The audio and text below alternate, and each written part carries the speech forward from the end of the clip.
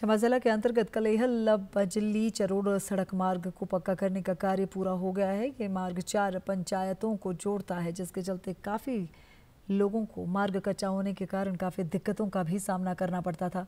वहीं अब लोक निर्माण विभाग ने मार्ग की कटिंग के साथ साथ सड़क पर 12 किलोमीटर तक तारकोल बिछा दिया है।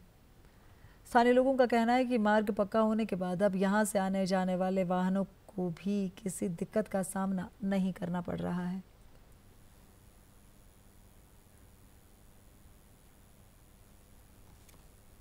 बंजली जुगरा सड़क मार्ग है और कलहेद से ये कम से कम कोई पंद्रह सोलह किलोमीटर का जो है वो सड़क की लंबाई है।